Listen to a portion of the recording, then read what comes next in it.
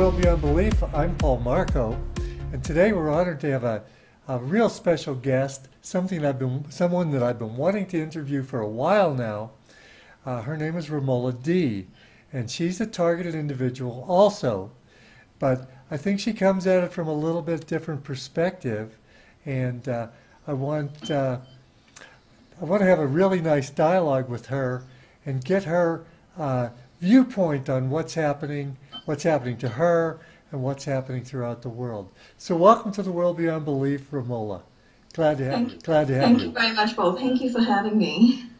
Thank Uh, you for inviting me onto your show. I mean, I've watched your show so many times, and I've seen your recent interviews with Dr. Katrin Horton and with Dr. Eric Karlstrom, and I'm blown away, as always, by the you know the depth of your conversations and Well- the wonderful things that your guests bring to the show. Well, thank you, and thank you for being here. Uh, well, let's start off by giving uh, the people that don't know you some of the background on uh, how you got to be a targeted individual, although you may not know, um, right, right. and, uh, and Okay. how we got um, here. Well, okay. You know, I'm actually a writer and a teacher, I've been teaching at the college level for many years. Um, I've been teaching creative writing and English composition. And um, actually, in the Washington, D.C. area, I lived there for about, gosh, I don't even know the exact figure, probably 25 years or so. But we recently moved up to the Boston area when my uh, husband got a job here. This was about five years ago. And um, when we moved here, I was working on my writing, so I did not immediately look for a teaching job again.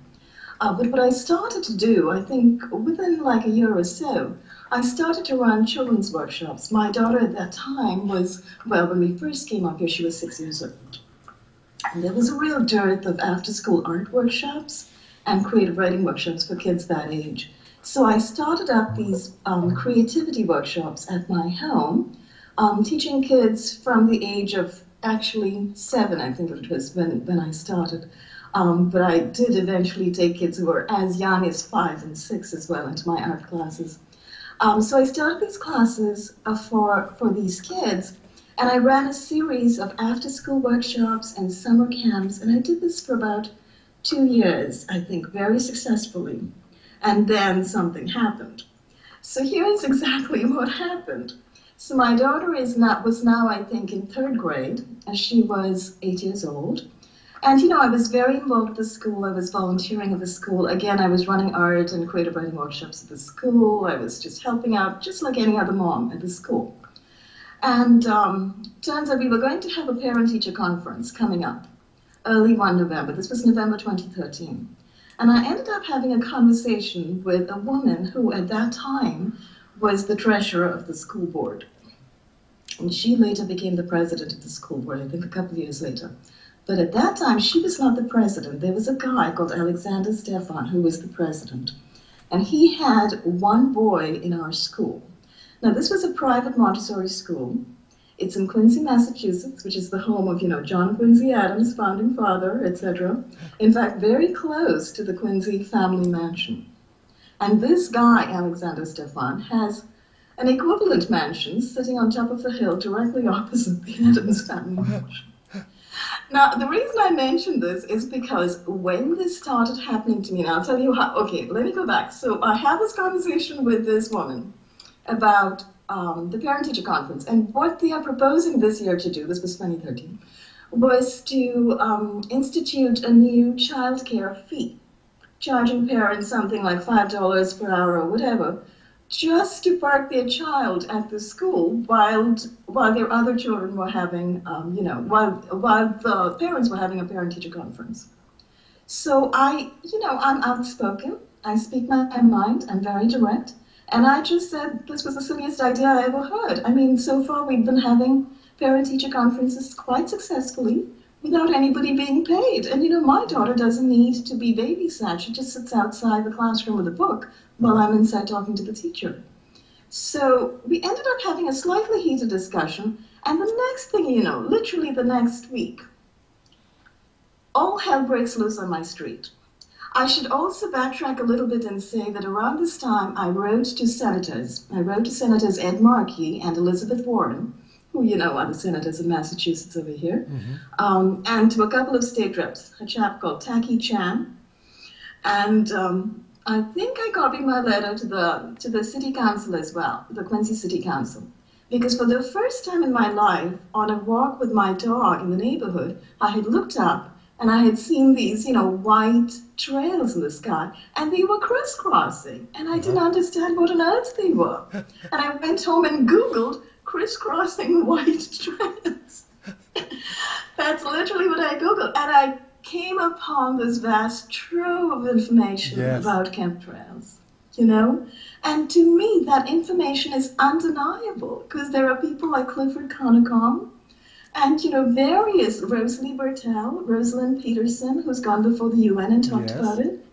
Various people who've done incredible research who found out the constitution of these chemtrails. They've discovered there's all these ghastly heavy metals in them. And it made me think, I mean, look at me. Here I am, focused on organic food for my child. I'm a vegan, so careful what I put inside my body and inside the bodies of my family. And, and we're growing vegetables in the garden. And the stuff is raining down on us. I mean, what price organic growing? Nothing is going to be the way you intend when the stuff is raining down on us. So in any case, so at that time, I had also written a letter to all these senators saying, it, this is highly disturbing. And I'd also noticed, you know, trees were damaged. There's fungus Yes. in all of the trees in the neighborhood. You know, the trees are dying. And I mentioned that as well. And I got back, you know, later on, I got back a letter from Mr. Tackey Chan, the rep. You know, he said, Oh, I've consulted the city arborist, and it's only the maples, and only the maples get this kind of fungus, and they get it every year. Well, I beg to differ because I was Yeah. looking at the leaves, and there were black pock marks on every single leaf in the neighborhood, whether it was a maple or oak or hickory or whatever, you know? Um, and I was teaching nature classes, so I kind of knew my trees. Right. So, so these are the two main things that I had done in that week. I had spoken to the treasurer, and I had written to senators about chemtrails.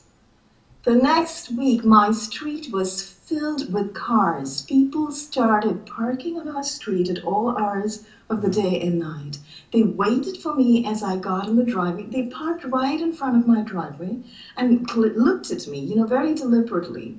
And as I'm pulling out to go, because I was teaching at that time at a couple places lo- locally, at a preschool and at an art center close by. So every time I went out to, to go to my jobs, I was pretty much escorted there by a joker who was parked right outside my driveway, who then proceeded to follow me and parked in front of the church where I was going to go, you know, deliver my classes. So this went on forever, and I began to realize, my God, am I under surveillance? Is this what is going on? And all sorts of other horrible things started happening very, very quickly. So that was, I started having organized stalking within one week. And then within another week, literally in the middle of the night, my entire family, we were woken up by waves of thermal energy coming in through the window. Oh, And um, this was when my daughter was sleeping in the bedroom with us, you know, on her in her own little bed. And all three of us were waking up at the same time in the middle of the night with extreme heat. So this was not imagined by any of us. And then one morning, very early one morning, I literally felt my brain probed. Literally, I could feel the Wow. different lobes inside my head because I felt remotely probed, and I was. And I was kind of paralyzed. I couldn't move. It was very early in the morning, and I could not move, and I could feel this going on. So, these are the ghastly things that happened, and shortly after that, I started being tracked. It seemed I was being aerially stalked.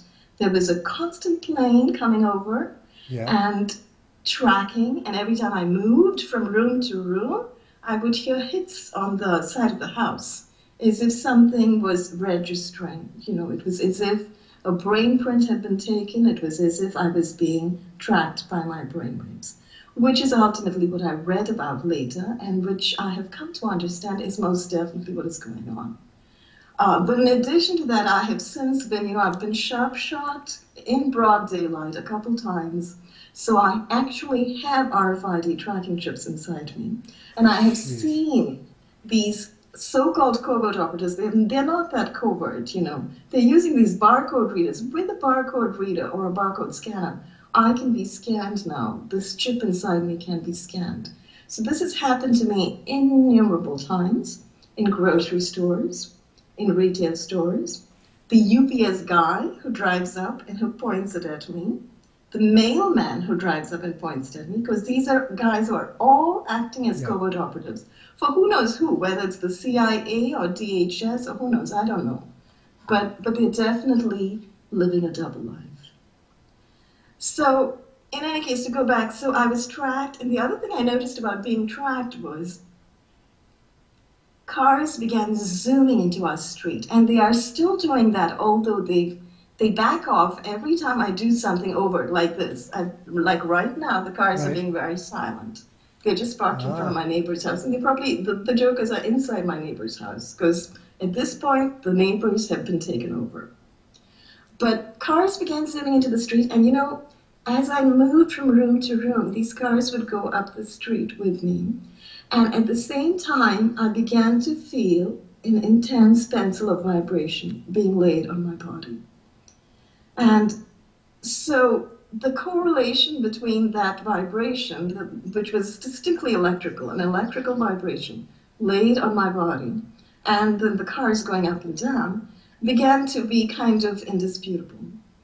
They would drive up, park, and hit, and this is what they did constantly. You know, so as I'm moving, and literally we are living in a sort of a square block, so it's easy for cars to go, you know, literally in a rectangle round the block and do this thing.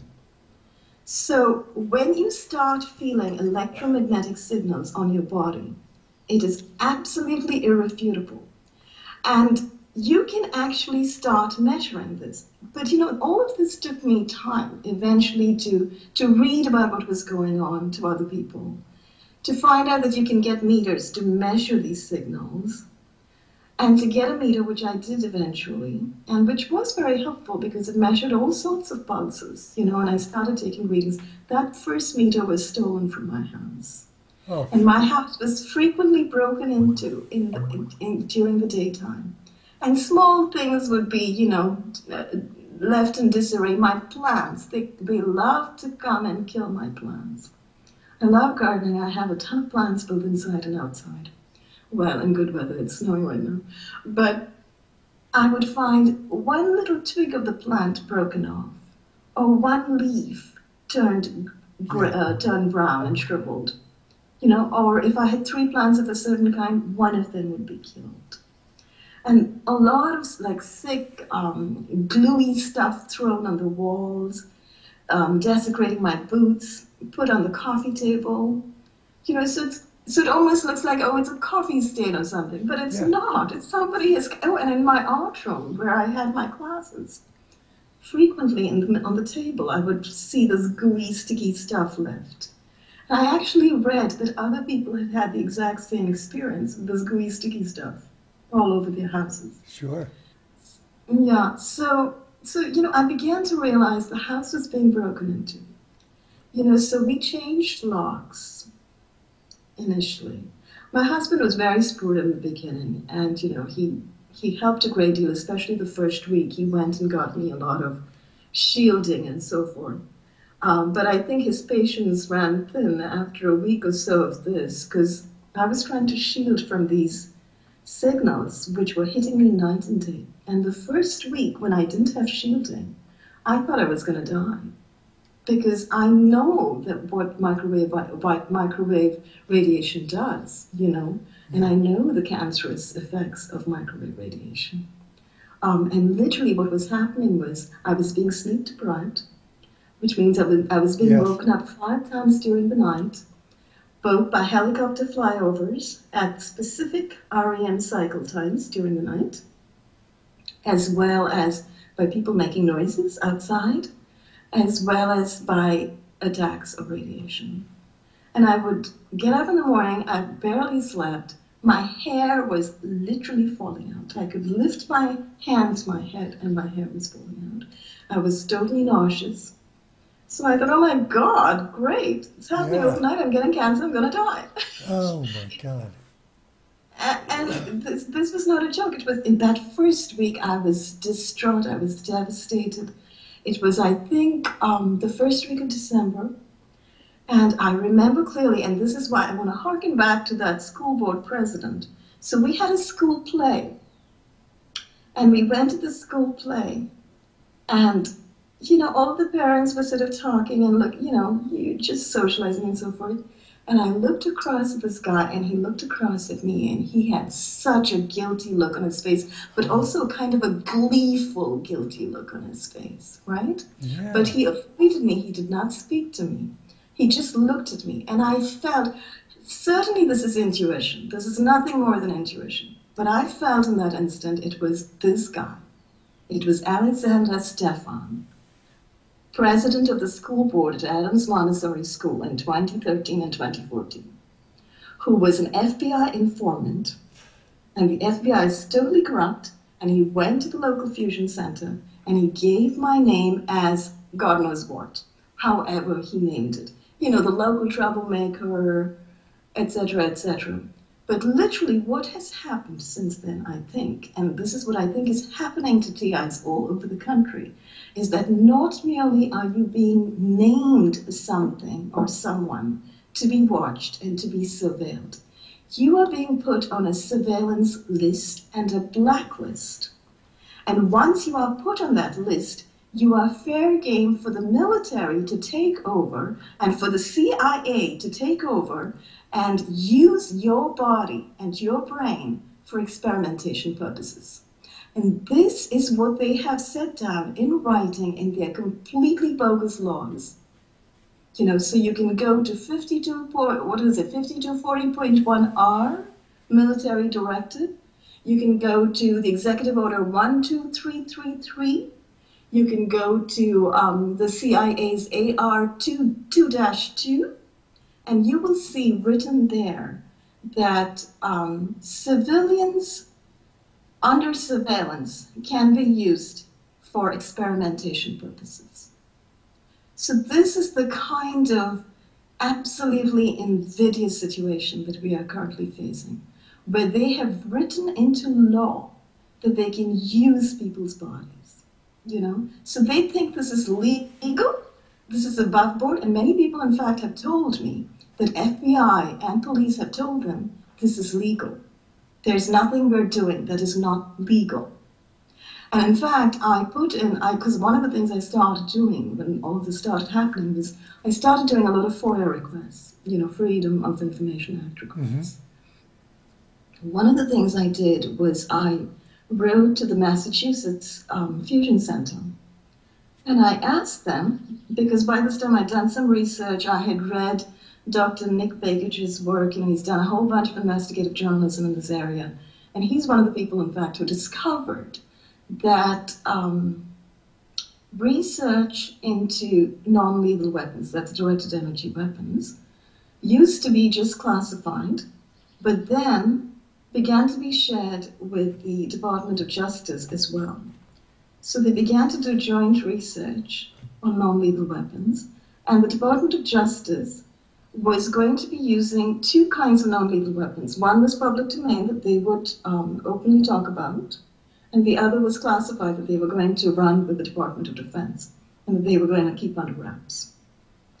And so I wrote to them, and perhaps it was stupid of me, but I wrote to them and I said, you know, can you tell me what kind of, and I uh, clearly I used the wrong terminology, but I said, what kind of non-lethal weapons um, are being used on the streets in Massachusetts?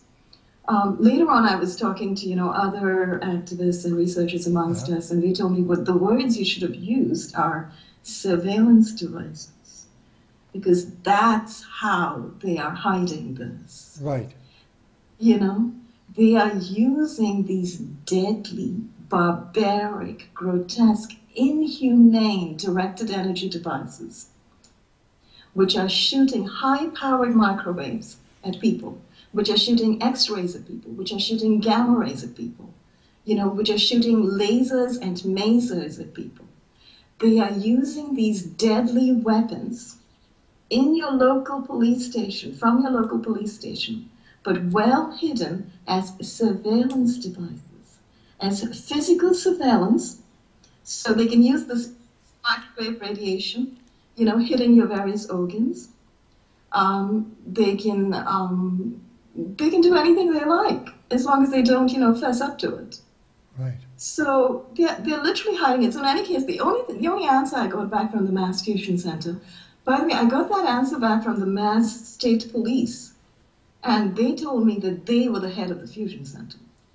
So apparently, the State Police is the head of the Fusion Center. So these guys wrote back to me and said, we cannot divulge this information for reasons of public safety. Wow. So it's like, yes, I'm interested in public safety. I'm trying to find out what you're doing here. Right. You know, and I'm trying to alert people to what you're using on them. So it's absurd. So you see, this is like saying national security, public safety. We can't tell you. Right. So, um, so, so, so I didn't get anywhere with that. And I also put in a FOIA to the CIA asking them had they gotten any informed consent for any of their experimentation. And they gave me one of their Glomar responses. We can't confirm, we can't deny, you know, stonewalling and nonsense. Right. So, so I actually wrote that up, and I just, um, I, I wrote it up exactly as they said it to me. You know, basically, I just said the CIA cannot confirm informed consent in any or in any classified human experimentation that may be ongoing. Right. And you know, we know that classified human experimentation is indeed ongoing. Right. I think it's. Sorry, I I kind of went far away from my own story, but so um, where was I? So in any case, so going back to that school play and looking at this guy, and I kind of out, yeah, it was him. You know, total informant, total thug. So, uh, but what can I do about it? It's like a suspicion. What can I do about it? You know. So um, I did ask Sinead, the woman who was the treasurer. I sent her an email and asked her, Did you talk to the school board about this? You know, did you talk to the president of the school board? Do you know that I have been hit? Do you know that I've been targeted? Do you know? And all of this started after that conversation we had. She did not respond to that email. So, and it's really funny because her daughters are friends of my daughter and have you continue to be friends. They don't they don't see each other all the time, but they do see each other on occasion. And there's this weird thing. So I'll tell you what happened after that. So after I was hit, that entire school was radicalized. I saw characters Oh. who were obviously non-school related people showing up at the school, and after that they started to like stand in the door and stare at me, like surveil me, each time I went there to drop my daughter off or to pick her up. Right? Yeah. Um, they all started to do some weird color coding. And you know, the color coding they do frequently is they wear red and black a lot, but they also start picking up colors from you, what colors you are wearing, and they start repeating it. So they started doing this, the entire school, all the moms, these moms, who used to be my friends, some of these moms were, were my friends, literally turned on me overnight, and then they started tracking me with their cell phones. So as I'm driving up and sitting in line waiting for, you know, my to pick up my daughter at three o'clock, I've got a mom in front of me and a mom in behind me, pointing a cell phone and tracking. And each time they're able to track accurately, then I'm hit. Because what else started happening was strange cars began coming and parking in our parking lot, you know, with dues them and hitting me. So every single mom over there, and the dads as well, and then they- would make a big show of surveilling me. They would stand in front of me and hold their cell phones out. You know. They did this frequently. They did this all the time. Literally at whether it was just a daily pickups or you know at some kind of school social event, they, they would stand in front of me and do this. So all this extreme rudeness, extreme evil, and also I began to figure out they were recording conversations you know so and i found out later because i did some research on this and again i wrote an article about it it's on my website the fbi has something called consensual monitoring.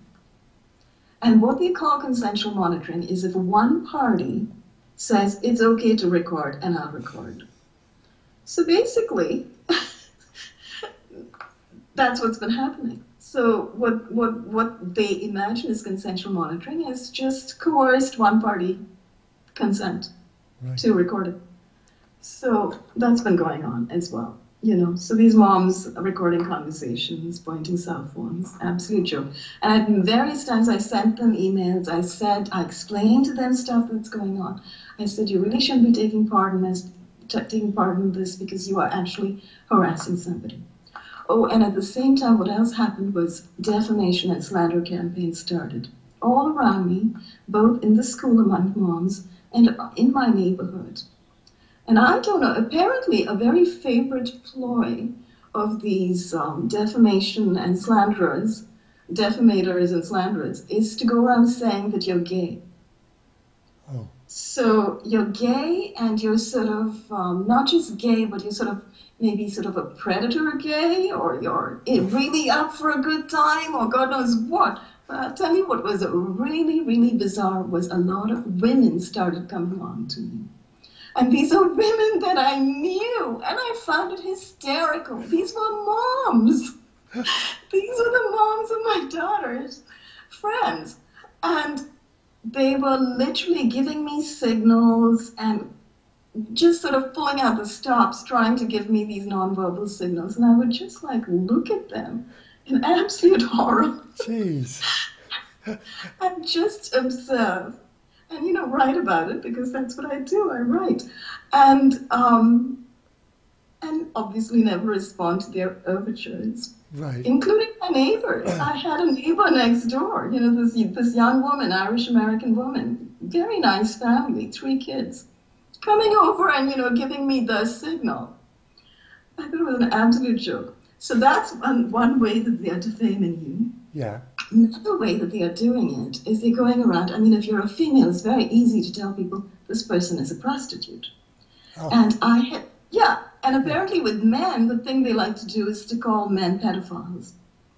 And a lot Yeah. of men have spoken to me about this, yeah. you know, TIs.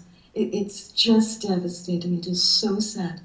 And I did not know the neighbor just directly here next door, who, by the way, now is very busy. He's totally under contract. He's had so many house renovations, new cars, and he's got the whole of his basement, I think, outfitted.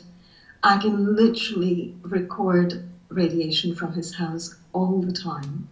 And he also, he, his friends are working with these characters, whether they are DIA or, you know, local military or who knows what. But his friends show up and they've had conversations because our houses are pretty close. I've actually heard these conversations. Pointing the cell phone at me, like in the direction of our house, and saying, Oh, she's right there. Uh, Yeah, you're right, man. She's right there. So it's like, excuse me, am I being tracked or am I not being tracked? Jeez. You know? So constantly recording me when I'm outside. And he's had his entire house outfitted with antennas, with microwave transmitters, generators, and so forth. And um, so one of the so when I found out he he's he was used to having lots of parties with lots of people, and I heard all of a sudden I'm in my backyard, I'm on my deck, I'm tending to my plants. It's summertime. I look across and everybody in his yard is looking at me, like the entire bunch of kids and you know young families out there looking at me. And one of the women says, "Oh, she's a night walker." Whoa. So, and it did not register for me in, in you know for a minute what and who they were referring to, but they were referring to me. So this is a story that had that's been going around. You know, and I remember very early seeing people from the local fusion center coming and taking this guy in their cars to wherever to their meetings and coming back.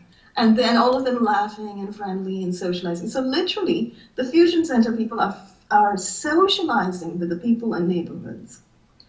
And they are setting up contracts and they are bribing and giving money.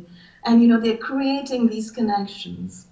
And then they are turning them against people like me, you know, the outspoken person who's become the target of the local fusion center and the local Satanists and the local Freemasons Right. and the local, you know, everyone else. So basically, and also the local experimentee who's bringing in a lot of money to the county, you know. Um, and they are telling lies, and they are spreading these lies, and they're having the neighbors spread these lies. So this is this is essentially what's going on, and then this gives them a um, an excuse legally again to surveil to keep an eye on this person. Because, so, you know, there's multiple stories. This person is mentally unstable. This person is a violent extremist. I mean, if you look right. at some of the documents from, you know, these, um, from the police, from, I think, from Virginia State Police, there was a document. Um, the FBI has put out something in California as well. If you look at the list of people that they think are worthy of surveillance, it's a very long list. And it's, you know, it includes people who are religious, people who say they believe in the Constitution, people who speak about individual rights and liberties. Right. You know, people who talk about freedom a lot, people who mention the word sovereignty. There's a whole list. So we are no longer living in a democracy. We are totally living in a kind of a Nazi situation currently. We are totally living in you know totalitarian fascism that is seeking to hide its face mm-hmm. you know and seeking to maintain a facade of democracy i think you're right i, I want a couple questions what are, what became of your husband is he still with you because the normal strategy is to break up the couple lose the friends Yes, yes, and believe me, that is exactly what they've been working on. And I also think my husband is EBS, which is electronically brain stimulated. Yeah.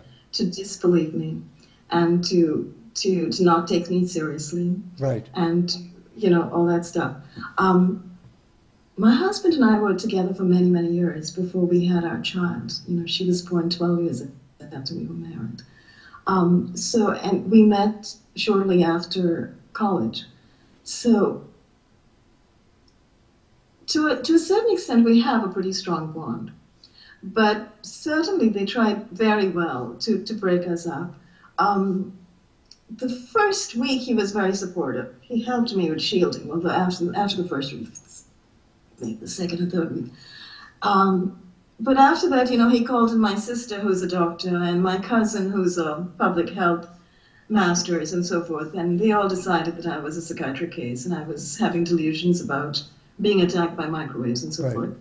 And uh, they ended up, you know, I ended up talking to a family friend who's a psychiatrist, and my husband also actually openly deceived me and took me to see a child psychiatrist, a woman who turned out to be a child psychiatrist.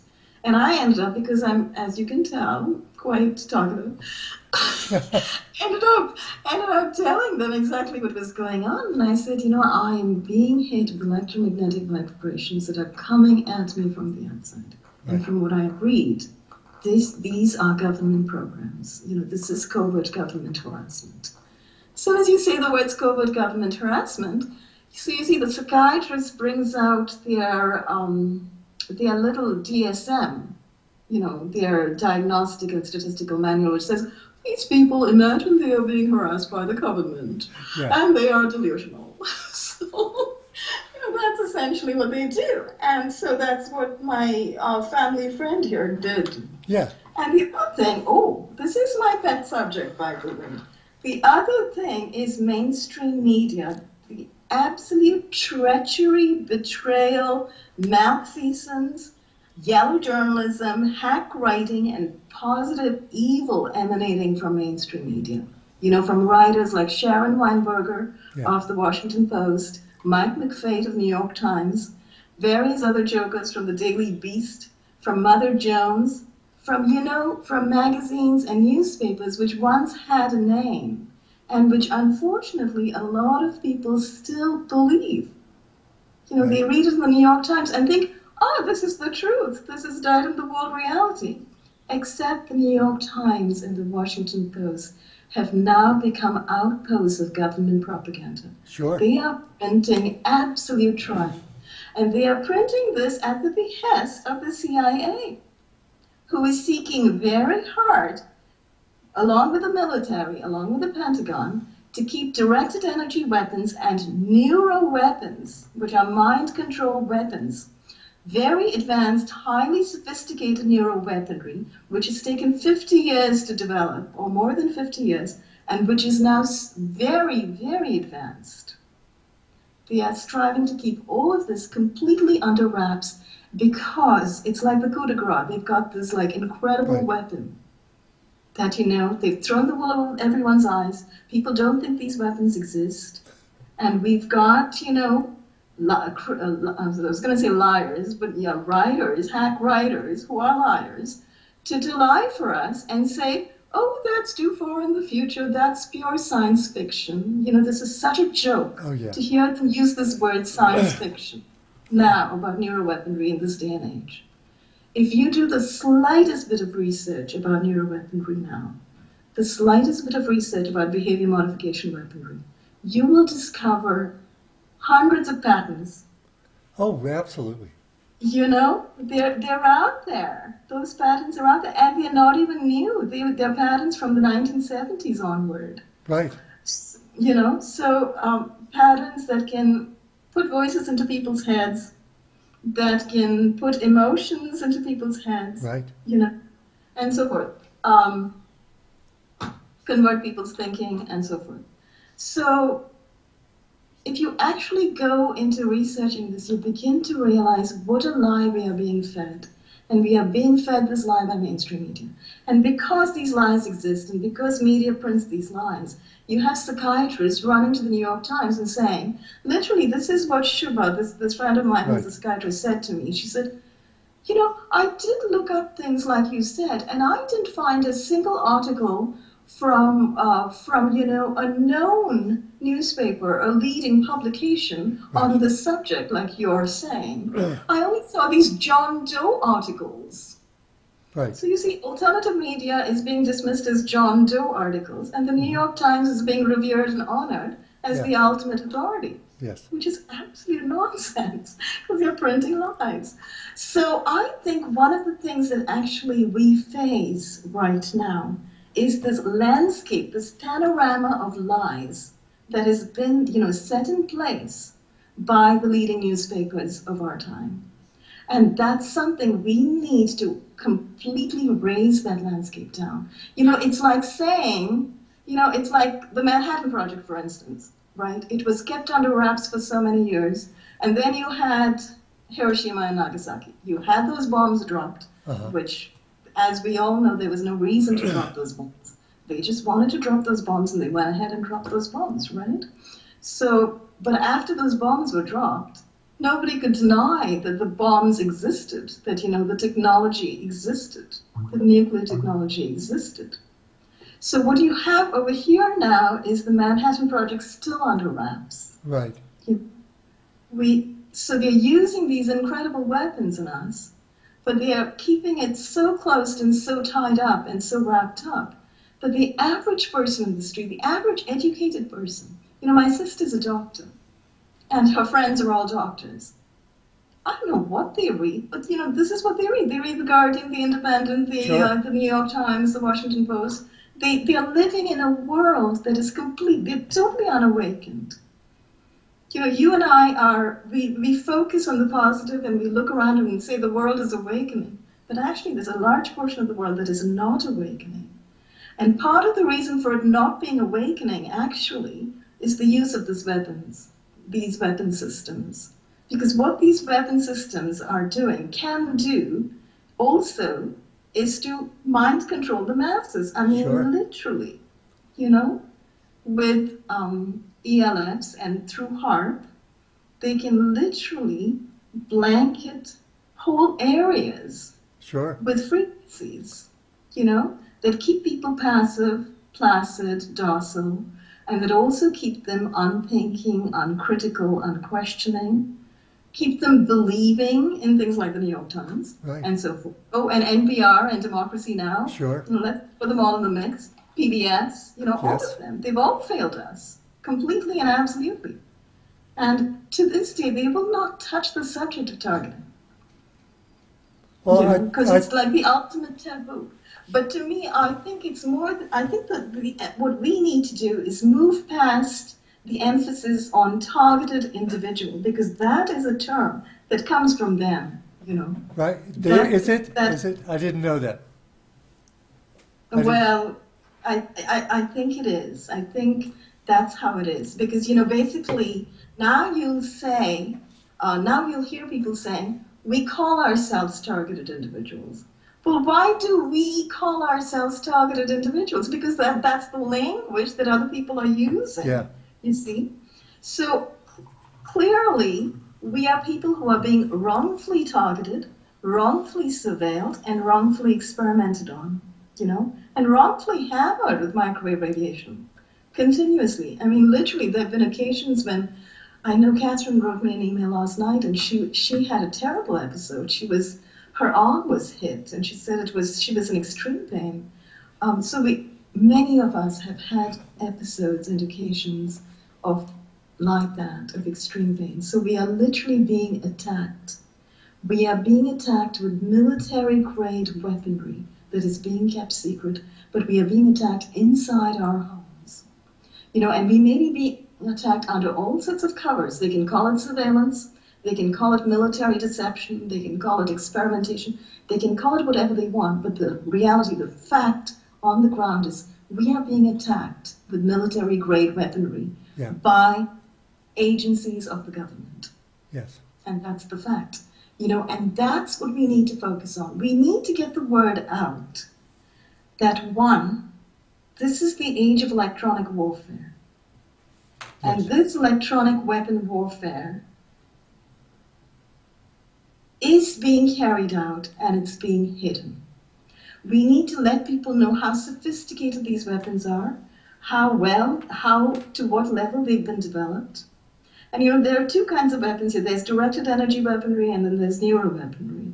So you've got the weapons that, you know, get into your brain and get into your nervous system, and you've also got the weapons that um, that just hit you, you know, that literally shoot at you, just like a gun can shoot at you, you know, physically. You're physically being shot at, but just with an invisible pulse of radiation, you know, or with a maser. So a laser or a maser. I mean, I have had occasions. I was walking in the in our neighborhood one day where I was hit in the back of my head, and it literally felt like a physical spear. And this guy in in he, well, he was driving an Amazon truck. He pulled out. I turned around and looked, and it was this guy in an Amazon truck. He pulled out, and he actually had the gall to come. We were walking. My daughter and I were walking the dog, and he pulled up in front of me, and he waited. He paused his van. He right in front of me, waiting for me to get in front of him again. So he could hit me again. And literally, I was hit by a laser, in other words. I was hit by a horizontal laser emanating from his van. Um, obviously, I did not. I waited and waited for him to, to leave. Sure. I did not have my camera with me at that time. I just waited for him to leave. Um, and he did eventually leave. But it was so obvious, you know, that he would pull up in front of us and just stop. So so the, the thing I want to tell people also is it's not just TIs, it's not just targeted individuals. If there are people in vans, and there are, and in cars, in SUVs, and minivans, in sedans, driving around with these incredibly dangerous, deadly weapons in their trunks and in the, in the front of their cars sometimes, but very often also in the trunk. I'm hit very frequently when I'm driving by somebody pulling in front of me and you know directing radiation at me from in front, which is probably from the back of their car. Um, so if there are these, and I see so many of them, there are some that are very obvious. And there was an article in GQ a while ago talking about X-ray vans in New York. So literally vans carrying antennas and transmitters to, to shoot X-rays at people. Right. I mean, in what reality can this be acceptable? You know, seriously. I mean, where have we entered hell? Yeah. Have we entered? Did we enter the gates of hell and nobody told me? So, literally, this is how insane these lunatics who have um, approved this weaponry for use on the streets are. They have approved the use of X-rays. They have approved the use of microwaves, of millimeter waves. Of lasers, masers on people, on humans. You know? So they have approved the use of deadly weaponry on human bodies and human brains. And trust me, this is not just those who are targeted. If that weaponry is in these vans today, I can assure you it is being used on everybody. Because right. it is very easy to point at somebody's ankle as you are sitting in a doctor's office. Right. It is very easy to point through the window and give you gallstones or sudden pain in your kidney, right. give you a sudden heart attack. Oh, and heart attacks, by the way. I've been hitting my heart so often over the last two years. It is so easy for them to do it. They just have to point and hit. And people have died of heart attacks, you know, many sure. people. Sure. So, you know, these sudden induced heart attacks. So, um, but you see, that's what they're doing. Actually, I read something recently. Um, you know, Dr. Rauni Kilde's book. Do you know her book, Bright Light on Black Shadows? No, I don't know that book. Yeah, it's an excellent book. What's it called? So, this is this is it. Bright Light on Dark Shadows. Okay. Yeah, Bright Light on Black Shadows. Thanks. And you know, Dr. Rauni Luukanen Kilde, Dr. Rauni Leena Luukanen Kilde, was just the most incredible woman she was, um, you know, a medical doctor and a surgeon. She was, I think, um, she's Norwe- no, she's Finnish, but she was, um, I think she was like, she had a very, she had a very public um, title. She was the Finnish um, chief medical officer or something, chief medical surgeon. Something she did was she did a massive amount of research on directed energy weapons. And she spent a lot of time going to conferences, going to military conferences in Europe and Russia and I think in the US as well. And so she learned a great deal and she published everything she knew. Um, and she has had a lot of people talk to her and, and tell her and give her information. So one of the things that I read actually was that um, there was there was, and there's this whole conversation is reproduced in the book. A woman who worked as a nanny for a Norwegian couple um, kind of disclosed that she was working as a double agent for the intelligence agencies. And so she has this long conversation with um, Rauni's friend and says that basically the intelligence agencies, they are not using guns anymore. They are yeah. not using, you know, they are not using overt weaponry yeah. to repress people. But what they are using is sickness. They are inducing sickness and illness. And they're doing it with these directed energy weapons. And they've been doing it for a very long time. And she's talking about the Scandinavian countries, you know, but literally, this is the same thing all over the world.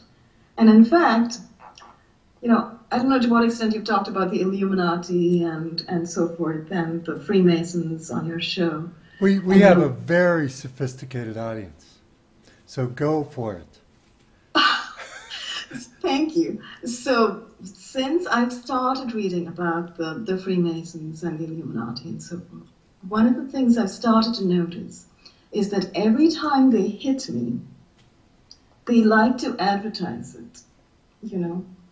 So, I'll give you two examples. One was, um, I think in the summer of 2014, I was I was on a scheduled trip to New York to go give a reading at a Pan American event. I think it was um, Voices for the World or something like that. So just before that, just before that week when I was due to leave, I started to see as I was driving people limping everywhere in front of me. I mean, literally, it was absurd. People on crutches, people limping, people suddenly holding their knee on on escalators and walking. And then that week, as I'm lying in bed, I'm hit by a helicopter directly over my head on my knee. I mean, it was an intense hit. It was extremely painful. My knee really swelled up. And it happened several times after that. So I'd had these helicopters fly. I didn't really know how to shield very well at the time. So I got hit very badly.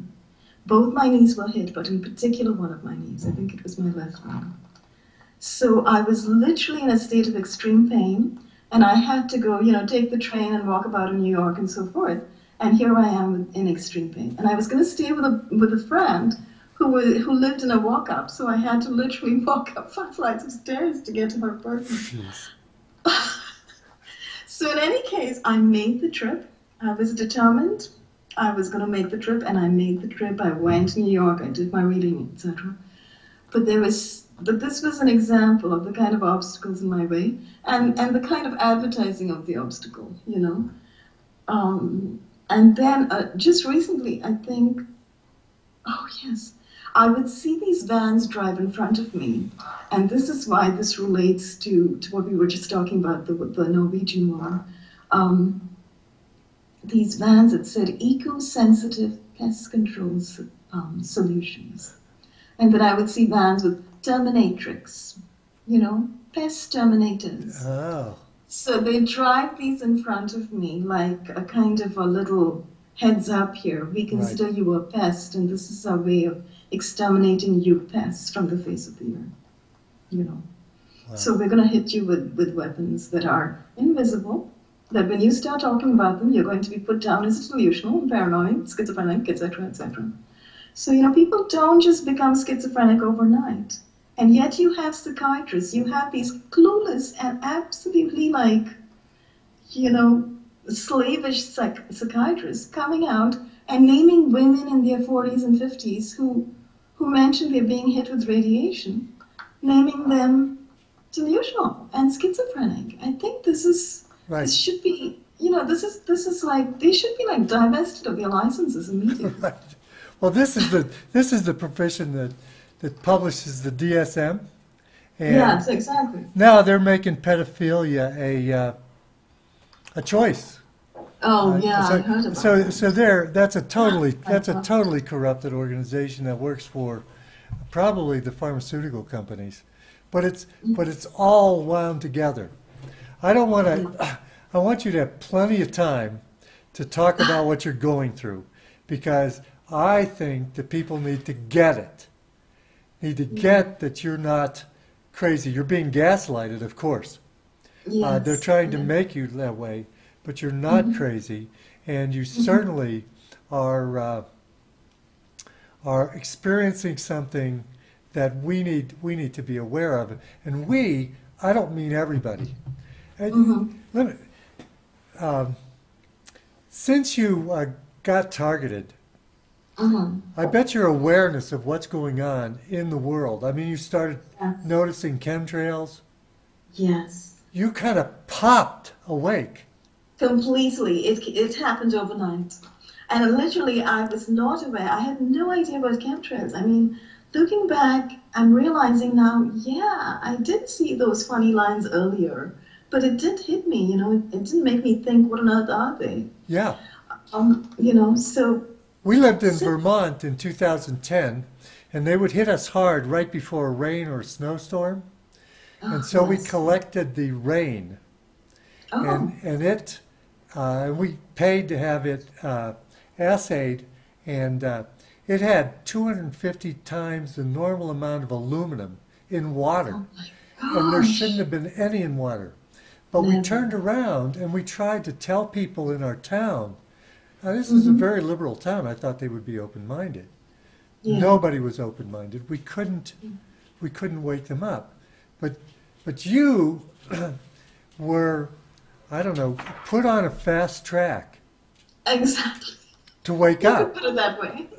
yeah, and from my, uh, from my observation, especially from my, uh, my standpoint, with you and Kathy and Catherine and Eric.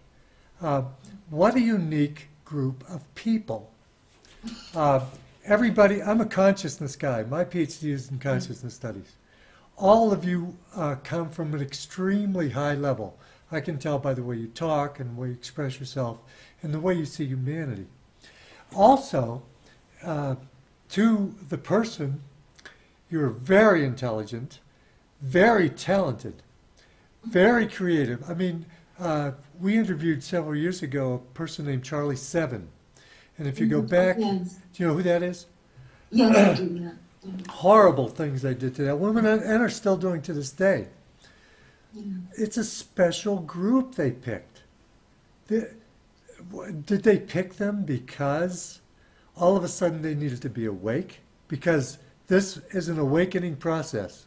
All of a sudden you, you, you're exposed to things, you investigate things. It's an awakening process. Are they doing this because you guys have so much talent and your ego is in front of the herd, can I say? You're mm-hmm. a little bit more seeing things from a little high, higher perspective than most people would be? Are they seeing that because they want to shut that down? Or are they, are they doing it because they want to shoot that up? Um, No, they want to shut it down. I, I cannot imagine that this is in any way a benevolent project. yeah, I- What's being done, what's being done to us is pure malice. It's pure malevolence. yeah, And clearly, it's people who stand out for whatever reason, you know, who are being shut down. And I have actually read the stories of and communicated with various people who've been targeted. And one of the commonalities they all share is that they are people of high integrity and high conscience. yeah, And you know, people who speak out, whether they spoke out and talked about, you know, corruption at the city level or corruption in, you know, their particular organization, whether they, you know, pointed to something, whether they reported a crime, they they unfortunately crossed paths, literally with a criminal, uh-huh. you know. And so you can't report crime to a criminal apparently because the criminal just wants to shut you down. And Right. currently, unfortunately, we have criminals in power, and they are everywhere in power. right, They're most definitely in our security and intelligence agencies.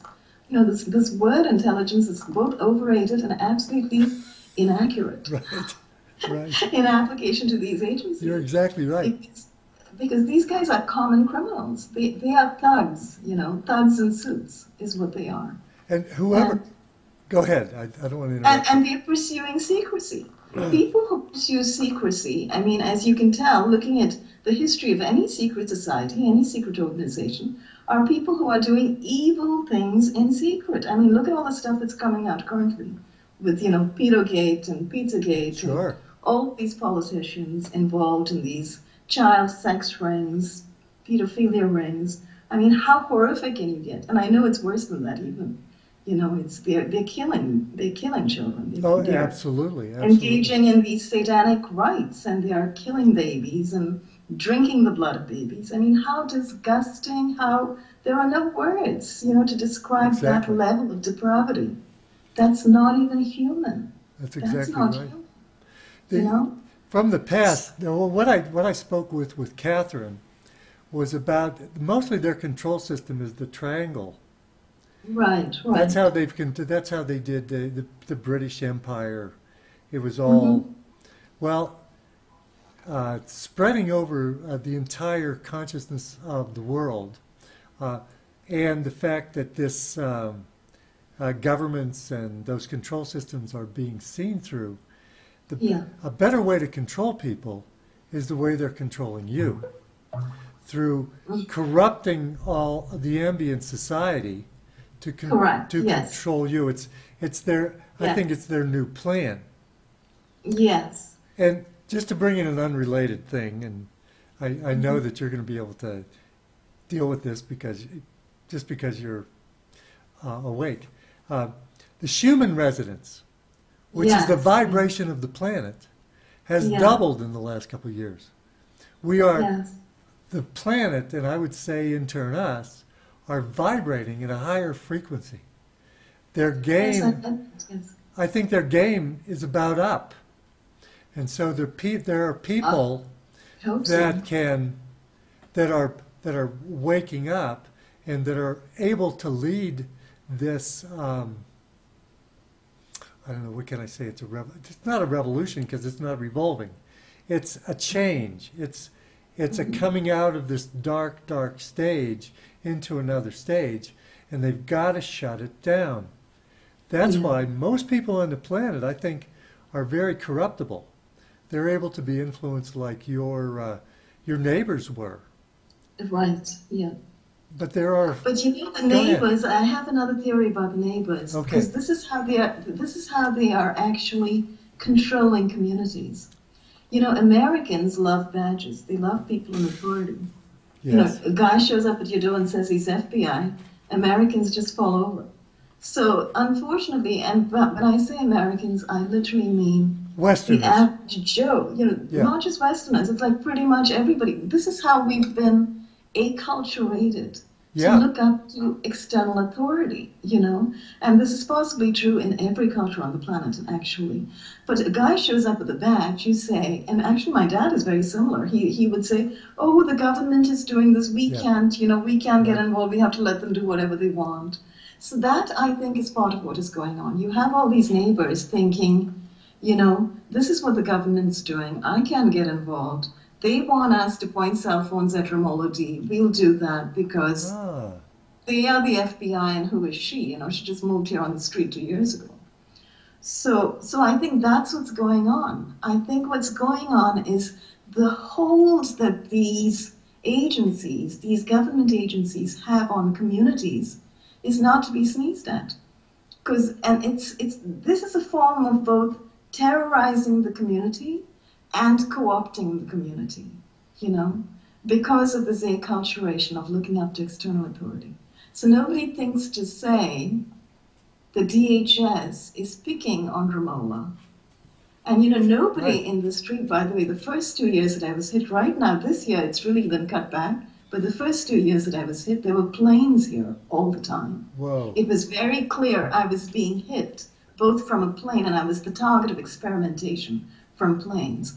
And I put in a lot of FOIAs about planes, and you can go to markcroft.com and see my literally my one year long correspondence with the Federal Aviation Authority, asking them what the heck these planes are all about. And ultimately they said, yes, it's true, the Quincy administration knows about it, but we can't tell you anything about it, you know. So, and then I appealed their declaration. They couldn't tell me, and that appeal is just sitting on ice. They're not doing anything about it. So, um, so in other words, you know, the the entire neighborhood is perfectly aware there are planes and helicopters targeting the person in this house. You know, so you can't you cannot hide planes and helicopters that constantly come by Right. circle the yard and you know fly over directly this house. So um, so I think what's happening is it's a combination. They're being terrorized. I think they're perfectly aware at this point that there's human experimentation going on with neuroweaponry or directed energy weaponry. But because you have neighbors like this guy next door, David Mark, on this side, and the guy on that on the, the other side, Matthew Norton, and his father, Richard Norton, you know, a Vietnam veteran, who park their cars in the driveway and who are keeping DEWs in their driveway so I can so I'm hit by them as I'm sitting in my own living room, you know, because it abuts the driveway. Um, so these guys are using directed energy weapons now on their neighbor. They have gone one step beyond being terrorized and co-opted to being acquiescent and participatory, you know in these in these crimes of assault assault which are in their eyes not being seen as crimes of assault. Because you see according to them i have been characterized as a threat to national security a threat to the government. They've either bought the kool-aid or they've decided to buy the kool-aid you know? So they haven't moved out they haven't put up a fight. They've just decided, okay, we'll use these weapons on Molody. We'll just go ahead and do what you want. So you see, I think it's a little more complex than just that they are um, that they're being used. I think they are um, they're complicit and they're giving in. But in a sense, it's almost like what else can they do, kind of thing, you know. So it, that so we've been taken over. In other words, you know, our communities have been taken over by this um, sort of this regime of authoritarianism and this regime of evil. Right. We just cut out here. We just cut out for a second. But Uh, yeah, so it, yeah, and I, I, I look at television, the greatest mass mind control device on the planet, as being part of this. Mm-hmm. You know that trains us what's good and what's evil, and Oh, uh, absolutely. They're all acquiescing to this uh, breakaway breakaway civilization. I think that that's it was used in terms of uh, space travel and this, but there Right. there certainly is a breakaway civilization. I mean, we did a report probably close to a year ago about uh, levitation devices, Oh, wow. and the first uh, presentation of a fully functioning levitation device was made to the government in 1860. Of course, the government said they didn't want it, the military said they didn't want it, but the secret government took it. And the Oh, way science, the way science works is you take an invention and you can build on that invention. That's the way science works. It's like the wheel. If you don't have the wheel, you can't get the truck, you know. But and so I think this is this is true with uh, mind control, uh, definitely transportation and energy devices, and and on and on and on. So there, so we're dealing with a civilization, or a, a, a, uh force. I, I call it a, a dark force that's Mhm. so ahead of us that they're they're really trying to head us off at the pass as we start to Mhm. wake up to what they're doing to us. That's correct, yes. And, And they have all these tools. I mean, they have this huge apparatus of the intelligence agencies, and now they've got these fusion centers all over America. And if you read Doug Valentine, you know, he talks about the Phoenix Doug program Valentine. that was run in, the, in Vietnam, which they, are to- they have already totally replicated over here, you know, with the fusion centers and with these weapons, these directed energy weapons. Um, so they have this apparatus, they have these mechanisms, they have not just a corruptible law enforcement, they have corrupt law enforcement absolutely, who are, who are completely a part of it. And you know, this harkens back again to the prevalence of secret societies and the prevalence of Satanism right? in law enforcement and among the FBI and so forth. Um, all of this shocking stuff. So they have this mechanism in place. But you know, coming back to something that you have talked about actually, and something that Katherine Horton talked about, in a sense, again, is what we're looking at is deep capture. We're talking about systems Yeah, of deep deep capture. capture. You know, those wonderful terms that you both came up with. Um, I think that we, you know, the educated populace, those of us who are both being hit and not being hit currently, need to, at this point in time, begin to show the mirror, begin to start showing a mirror to what has happened. If we do not start showing, holding up that mirror, the rest of the people around us are not going to be able to see because they literally are the people who are being brainwashed, mm-hmm. who have been brain entrained, you know, who are the most susceptible to the, the, the brainwashing and media washing, the programming that you get from media. So these are the people who've already been taken over. Uh-huh. And as you say, they're the people who have not awakened yet. You know? But awakening is not just awakening, because, you know, it seems to me a consciousness field is also some kind of muddying of the waters Mhm. with so much new age stuff that's come in. Right. Like, um, you know, it's all love and light, and, you know, the new Right. age is all about loving each other and so forth. And yes, yes, yes, but on the other hand, look at where we are now. You know, people are not loving each other, people are turning against each other and being instigated to turn against each other in communities. So we are being currently divided by forces external to us. So you have these people from the top, you know, you have these globalists, the bankers, the Rothschilds, the Rockefellers running the intelligence agencies coming down from the top and trying to take over all the communities below and setting people against each other. So those of us who have awakened and who can see very clearly what the heck is going on, we need to start holding up that mirror Yes. to them and showing the evil of what is Right. going on. So before we get to love and light, I suggest that you know we start showing exactly what these creeps are doing under cover of secrecy. Absolutely. Using it's secrecy, national security, public safety, these things have to be torn down. They have to be absolutely torn down once and for all, Right. for all time. Right. Secrecy is what they've governed us with. Secret- Exactly. The, tr- the pyramid is a secret organization, and we have to move away from it. Also, what they've done through TV and uh, oh, just the ambient society is they've legitimized uh, psychopathology and psychopathic behavior. Uh, That's right. It, it's okay. Celebrity worship, etc. Right. If you have money, it doesn't matter how you've gotten it. It's all mm-hmm. about your having money. And it's okay yeah. to do things for the government, even though it's a psychopathic thing. It's okay to give people injections of vaccines, mm-hmm. even though you know it's a population yes. control. Yes. It's okay yes. to put mercury in the vaccines. It's okay to do that stuff. I'm just putting my kid through college. You know, I'm working for whatever company because I have to put my kid through college, even though the company is contributing to this oh, psychopathic uh, mindset. So your neighbors are e- easily uh, gotten to because we're living in a psychopathic culture. Um, That's absolutely correct. Actually, Dr. Seth Farber talks about that as well. He says, you know, he's a psychologist like like you, I think. So um, he talks about how we are living in a psychopathic kind of situation. The entire society has been set up like that. Right. And it actually goes back to, you know, it goes back to the whole war industry and the weapons industry.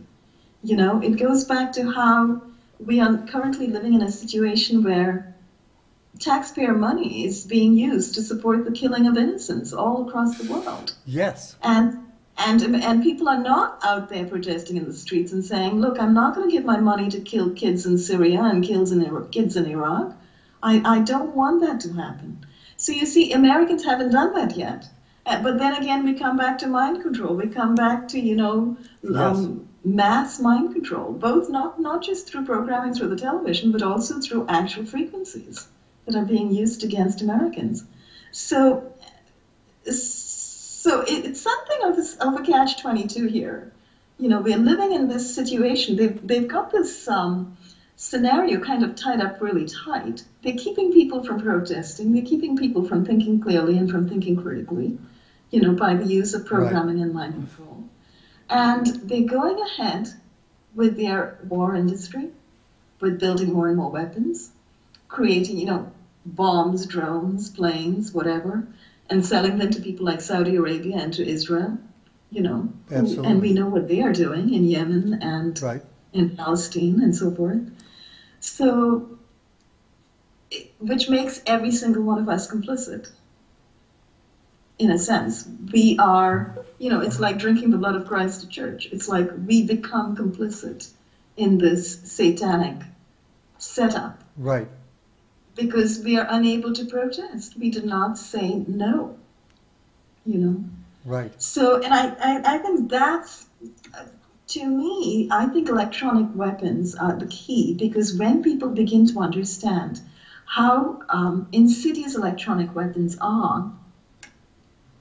Hello? Yeah, I'm here. Oh, okay, good. I didn't see myself, so I wondered what had happened. But anyway, never mind. I can so, see you. Oh, you can. Okay. You look great. Sorry? You look great. Thank you.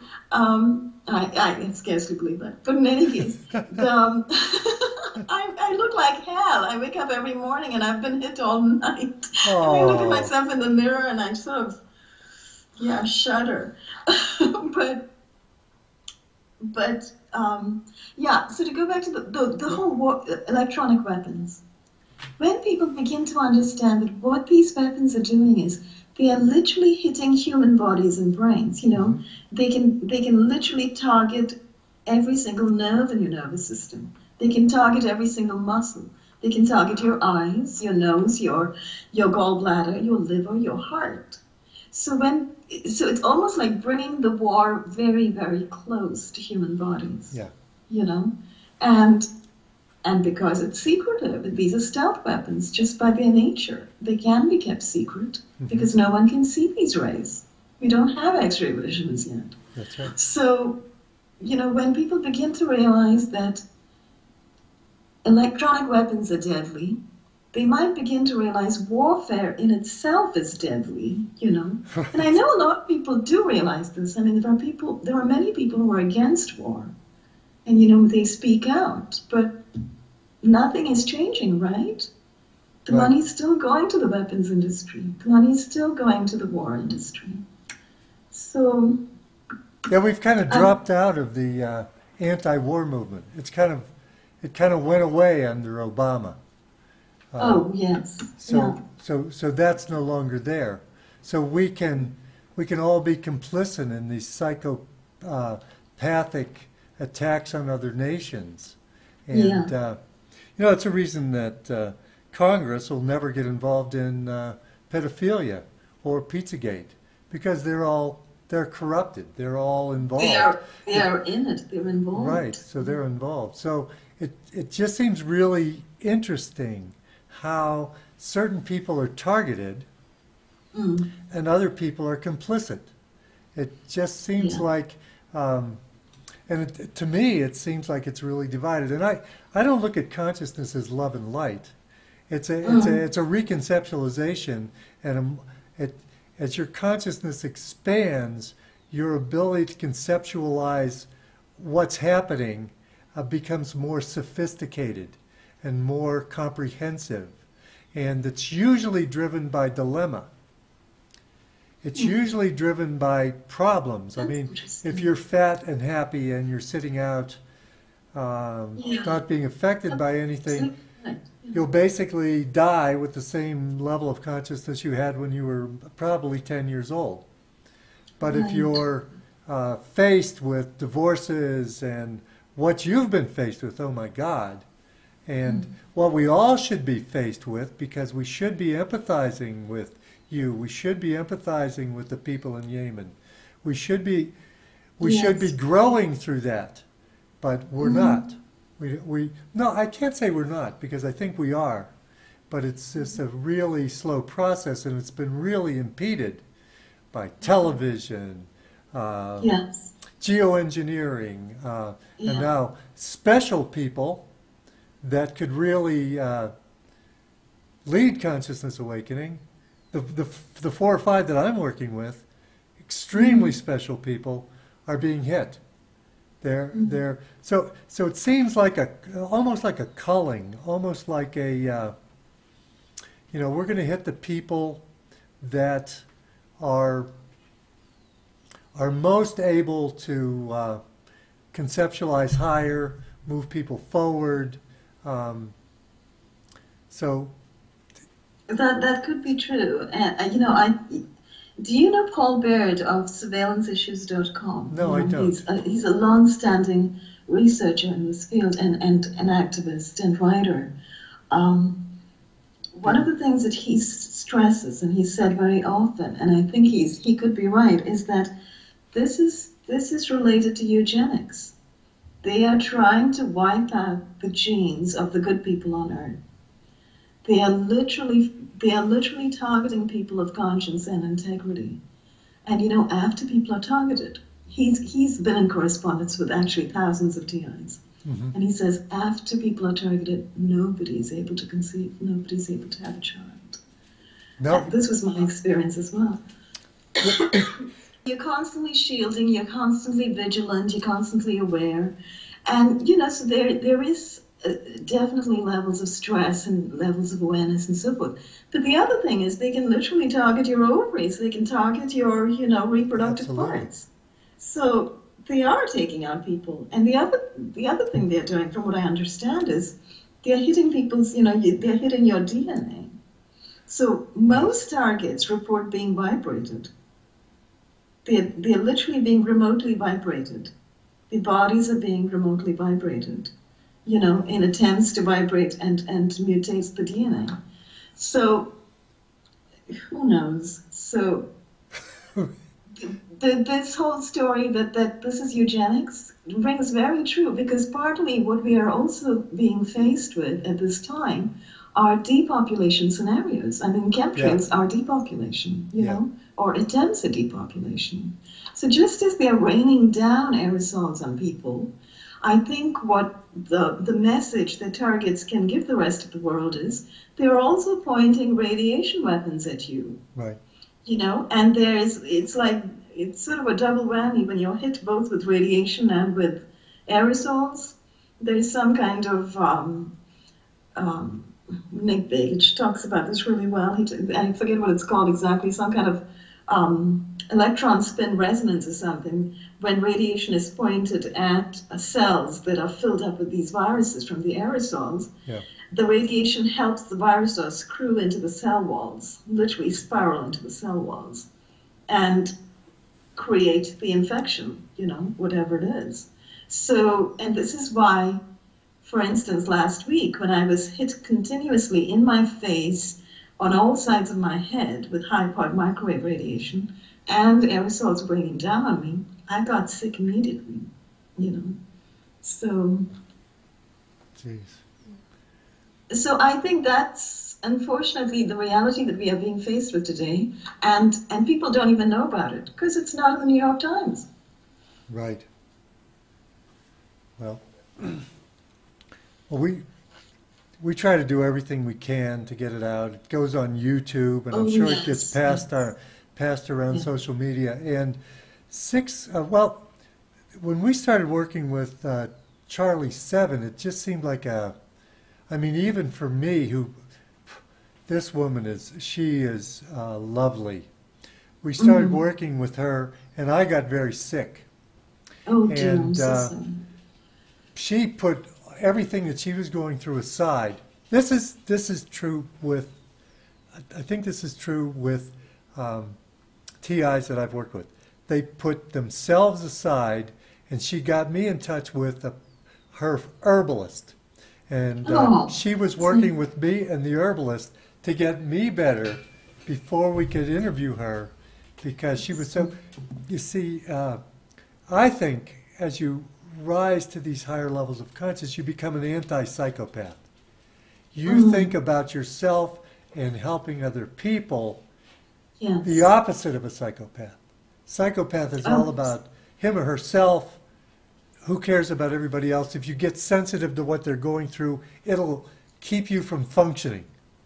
High- Expanded levels of consciousness, I see as uh, looking out for the other guy, wanting to wanting them to know what's going on, wanting uh, them to know what's going on in Yemen, wanting them to know, you know, that that Trump is still uh, ground striking people in the Middle East.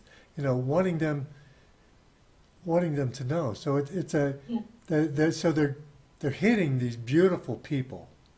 Um, and it's it's really a shame. We all should be aware and standing up uh, against this this atrocity. And this is just hitting the same time that uh, this uh, child trafficking thing is really becoming into the Oh, yeah. forefront. And uh, they're, they're, they stem back to the same organization. I mean, it's all the spy organizations. They're all running it. Yeah. Who they're directed by, I don't know. But uh, Well, I, I presume it goes back to to those guys that it, people talk about, right? The bankers and the Illuminati and you're right. those super wealthy families. Some, I think it's 13 families at the top or something like that. Yeah, 13 families. The committee of 300. And there might be, uh, you know, forces above that that's that's driving them. Oh, forward. right, yeah, well, that's right. When you go into that whole story of, you know, the aliens or the reptilians or whoever Well, it, it could be, or it could be just uh, homegrown evil right here on the. Oh, yes, exactly. I mean, this is this is evil enough. I mean, these are humans doing this, you know, Right. behaving in these non-human ways. You know, worshiping demons, drinking blood, all this stuff. Right. You know, and trafficking in children. It's just horrifying. This this is not okay. This should. Um, um, I, I don't know how resonate or somehow spur people to come back to their humanity. Yeah. I mean, when these types of things are being done, this this isn't human to human. Human beings mm. don't act like this. Mm-mm. But you're right. I think, in a sense, at least one hopes that what's being that's what, what that what is unfolding currently, with more and more evidence of this child trafficking and this pedophilia and these child sex rings, as the stuff is coming out, and as people are beginning to understand that there are people, you know, working inside these secret societies and actually inside the intelligence agencies as well. There are factions Yes. inside the intelligence agencies who are engaging in these extremely dark, extremely evil, extremely malevolent practices. You know, it's only to be hoped that perhaps in conjunction with the Schumann resonance going up, you know, and with all those CMEs that we're getting from the sun, Uh-huh. um, you know, it's it's only to be hoped that perhaps more people will begin to awaken and begin to see that what they are doing by um, joining in, by participating, by acquiescing, by consenting, that they begin to see that they that that that is sort of be, being an accomplice and being Right. you know somebody who is participating in these crimes, and perhaps people will begin to step away from that, and perhaps they'll start saying no, and perhaps they'll find a pl- different place to be in than right there next door, color coding and pointing cell phones to pulsed radiation at your neighbor. You know. Right. Uh, I, I really don't know how that will change otherwise. I mean, I really think ultimately it, it, it has to come down to sort of looking literally to the heavens for help. You know, we need some spiritual help here because people are being mind controlled, people are being uh, mind suppressed and mind repressed. And at the same time, they're being terrorized on the ground by these intelligence agencies, Right. you know. Who, who should not exist. And this is why I'm so keen on like showing a mirror, naming names, putting their photos up online, you know, name the names of every single one of these characters in these intelligence agencies who have got the gall, the supreme hubris, and, and the Department of Defense, the Pentagon, to, to experiment on humans, to, to um, justify it and rationalize it to themselves, you know, as perfectly okay for national security. It's not national security to biorobotize somebody. No. It's not national security to, you know, uh, radicalize somebody to go, uh, to, to put voices of God in their head, pretend it's Allah, and then put guns and knives in their hands and send them off to fight, Right. or to engage in a mass shooting in Colorado. Because that's exactly what they're doing. I mean, not only has the CIA set up ISIS, it's set up these mind control MK Ultra patsies all over town, and they're doing it. They've been doing it on a recurring basis, you know, and they're Exactly. continuing to do it. Exactly. You know that there's more soldiers commit suicide than are killed in action. And Oh yeah, yeah. Because they're. And- I think it's because they're waking up to what they're doing. Yes, you know, actually, I have thought that, but since I started doing my research into MK Ultra and how MK Ultra is continuing, I wonder about that because on the one hand, you could say PTSD, and yes, they're waking up to what they've been doing and they're tormented. But on the other hand, it is very easy to point a gun and put the frequencies of suicide into somebody's Yeah. head, and, and also to hit somebody with V2K and say your life is worthless. You should take it now. You know, you should kill yourself because that's what they're doing to hundreds of people who are targeted. You know, because everybody who who has V2K, and I have not experienced it, but many people have, they say that the messages they get are uniformly evil. They're just malevolent, and they're all about um, de- degradation, humiliation, um, and putting people down. Right. You know, saying you- you're worthless, your life is worthless. You know, things like that. Supposedly, supposedly the lowest vibrational energy is shame. it's even lower than fear or anger. Shame is the. Hmm. I can't quote a source. I just heard that. But Yeah, yeah. But but yes, yes. So you know, so I've gotten a slightly different feeling now about those soldiers who are killing themselves because now I feel that many of them may be being targeted. You know, it could be. and and in fact there are many who who know they're being targeted. Some don't know they are being targeted. So perhaps they're being targeted and they don't know. I mean, you've got this whole hearing voices network thing going on. People who hear voices, but who've decided because they've all had bad experiences going to psychiatrists and being pumped up with, you know, deadly drugs that just destroy their lives, who've started their own little association called the Hearing Voices Network. So they, in a sense, try to communicate with their voices and try to go on with their lives. These are all good things. But those of us who know about these technologies, you know, there are so many ways to put voices into people's heads. Yeah. There's ultrasound voice transmission, there's microwave hearing, there's the neurophone, there's so many ways now, you know, and the patterns are out there. So, so those of us who know are inevitably going to suspect that they are being messed with. You know, they are being targeted. They are, they, they are voices are indeed being introduced into their heads through technology. This, so this is not schizophrenia. This is technology, and so this is why I think you're doing a fantastic job, Paul. I think your show and you know the show shows of many others who are in the alternative media world who are beginning to listen to the stories of those who are being targeted and who are beginning to um, relay those stories out to a wider audience, I think, you know, the, the service that you are performing today is extraordinary because you are doing this sort of in a vacuum of media attention, you know, with mainstream media completely co opted. So, in a sense, you are creating new media that is um, truthfully holding up a mirror. Um, and I think more of us need to do that. And I think more people need to become the media in a sense, you know, start, start talking about this and start getting the information out there so that people begin to have a choice or begin to see that there is a reality beyond national security and secrecy that they really need to pay attention to, you know. So well, I, I think if you know if. Go ahead. Go ahead, Ramola. Um, one of the things I was thinking about that might be useful, perhaps, is um, you know there are so many researchers who have done such great work to kind of show that there's been classified research. Uh, Cheryl Welsh comes to mind. Dr. Nick Begich comes to mind. Also, Renee Pittman Mitchell, who's written several books, including Remote Brain Targeting. So the research is out there. Oh, and Mark Rich's books, you know, New World War, and mm-hmm. his other books as well. Um, you know, and Robert Duncan's book as well. Um, Mark Va- Douglas Valentine. Oh, and Douglas Valentine's books and yeah. so forth.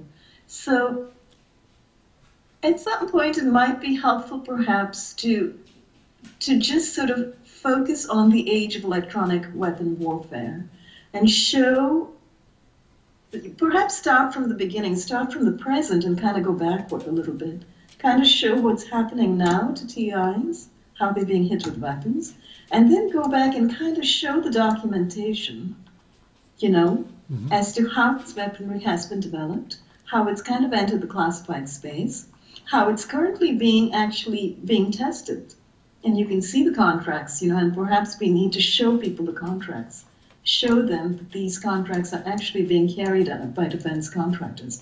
Put that information out there in a video, you know, so people can begin to see. And and also show in tandem what the CIA's been doing, because the CIA has also been engaging in behavior modification research using electromagnetic radiation for more than 50 years. Sure. And actually, yeah, and actually, Cheryl Welsh records that, you know, John Marks, he was this researcher and writer who wrote The Search for a Manchurian Candidate.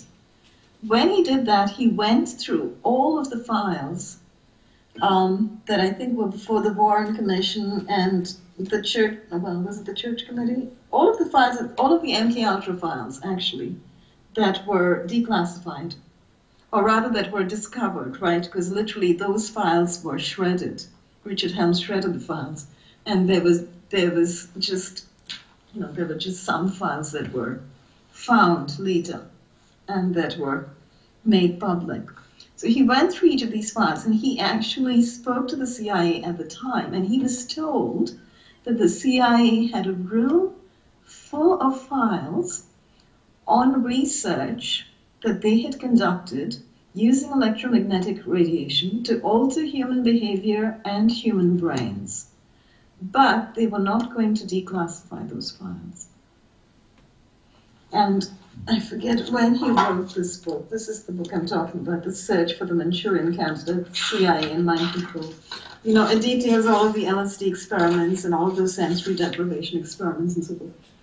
Oh, okay, it says copyright 1979. So this was in 1979. And later, I think probably in the 90s, Cheryl Welsh also FOIA'd the CIA asking for those, for those files. And they refused to, and they said, we're not declassifying them. So, so obviously those files exist. Obviously that research existed. You know, so past MK Ultra, as many people have said, and as the CIA has apparently admitted, they have been engaging in research quite contrary to what you hear in the New York Times.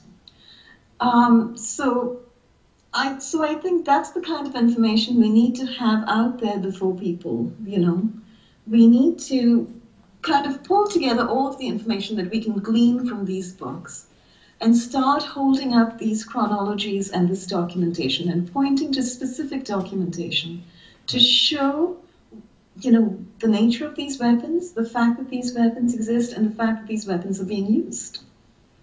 And the results, uh, and the results of these weapons, what these yes. cause, the pain and suffering and the uh, the death that this yeah. It's a it's a torture program. It's it is. It's program. totally a torture program, and it's like shameless assassination in broad daylight. Yeah. And people need to know, like people like my neighbors need to know exactly what is happening with TIs, right. exactly what they are okaying, you know, exactly what they are consenting to. So I have been so irate with my neighbors that, you know, when I have seen them, like this guy next door, I mean, he's a young guy and he just recently became a dad. I've literally called him a murderer to his face. I said, you know, how can you be taking part in this? You are a murderer, you are an assassin. So when I said that to him, he ran to the, to the kitchen window on his deck and shouted to his wife, Oh, come and look at her. She's gone mad. She's saying crazy things. Yeah. So you, so you see, he's been primed to tell that story, yeah. to, to pass around the word that I'm, that I'm mad and so right. forth. So as we all know, the last thing I am is mad. but, but what he is most definitely doing is he's assisting in murder and broad daylight. You know, he's assisting in an assassination. Right. So, and he's creating a world for his son that's not human. It's not exactly. Human. Yeah, his daughter. Yeah, right. that's exactly right. Because this is how it perpetuates. You know, so literally all these people who are, because on the one hand, I, you can see, and I can certainly see how they haven't been able to say no to these guys with badges who knock on their door and say, you have to track this person. I can right. sort of see how they would do that. But when they are told by this person that they're not just tracking, that, that I am, I have told them, I have, I have given them enough information to let them know that I am being attacked. I'm being attacked with incredibly damaging radiation, pulsed radiation, you know I'm being tortured, I'm being experimented on. There's neuroweaponry experimentation going on here. I have told them that. Yeah. So after you tell them that, you would think that they would change their minds, but they haven't. They've in fact revved it up.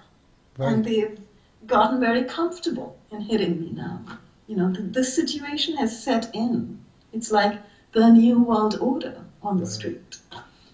So that's horrible horrible. So that yeah, so that that's so in a sense what they are doing is they are creating that reality for themselves. And oh, by the way, I think there's also a connection with Agenda 21 and with you know the um, the whole UN and taking over. Because as you know, this is this this program is going on in many countries around the world.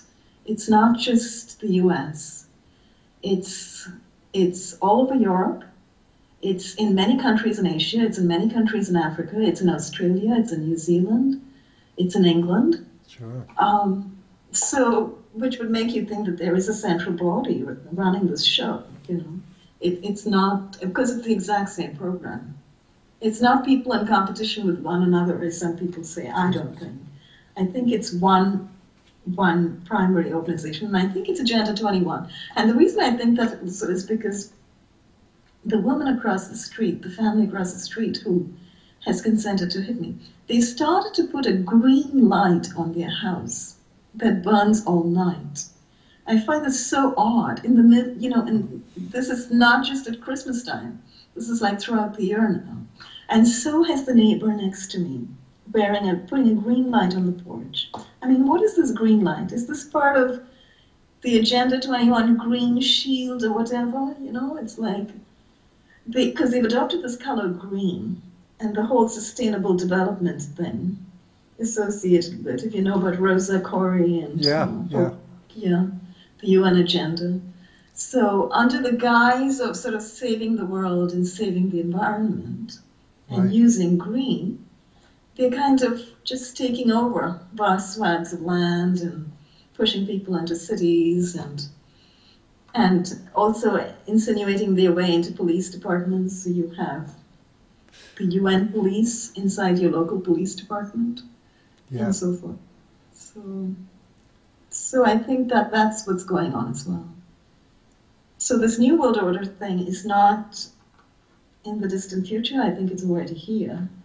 Oh, absolutely. I think it. I think it's already here. It's just how we're going to respond to it, if we can respond to it, and I think information and trying to bring back our humanity is Yeah. is, is our only option. I, there are some technologies that I'm finding uh, that that might be uh, might make this war a little more symmetrical, hmm um, but I think you know there's no answer right now. We're still looking, and uh, the the awakening and your wonderful presentation today. I, I don't know who could watch this presentation and not tear up and understand, you know, that here we have a, a, a beautiful human being who's being made out to be insane. She's being tortured. She's being slowly tortured, and they, they don't. When they when you become a TI, you don't get out of it. Mm-mm, apparently not. It goes on and on. I don't. I.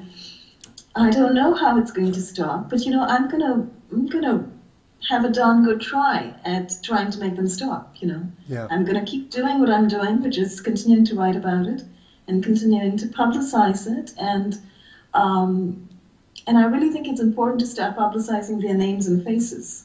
I do And, you too. know, I think- so I I I- think you you just keep moving forward Right. and you keep continuing try continuing to try to inform people, you know, and um, kind of hope for the best. So. We need to videotape uh, what's going on. We need to have it on YouTube or the other less censorable uh, outlets so that people can see what's going on and move forward. Do you, in, in summary, we're, we're, we're getting long here and uh, we get better, better luck getting people to watch videos that are shorter. But, Yes. but you're so full of information, you know, I, I just, I just want to go on and on with you. Um, so, um, is there anything I'd love that, back if you want, but you know, I, I was thinking as I was thinking, maybe sort of present some real documentation to people. yes, okay. Is there anything for this little interview that you'd like to sum up at the end here? Um, well, maybe get on my pet subjects again, which is mainstream media. People who are educated who are watching this, I counsel you stop listening to NPR, Democracy Now, PBS, the New York Times, the Washington Post. They are not merely not telling you the whole story, they are deliberately printing lies. They're printing government propaganda. And as far as electronic weapon warfare goes, everybody needs to get educated about it in a real big hurry right now because these weapons are here. These weapons are on the ground. These weapons are in our streets. Our police departments are using them, and they are being used on people. And what's happening is people are being sickened. People are getting sudden illnesses. And everything, every single illness across the spectrum can be invoked by these weapons, you know, including things like dementia, Alzheimer's, Parkinson's, MS, things like that, lupus, all these things which you think, you know, are dyed in the wool illnesses with, you know, all sorts of uh, seals from doctors. They can just be induced. Sure. They can just be induced with frequencies. So people need to be aware of that, that their illnesses may be technologically induced.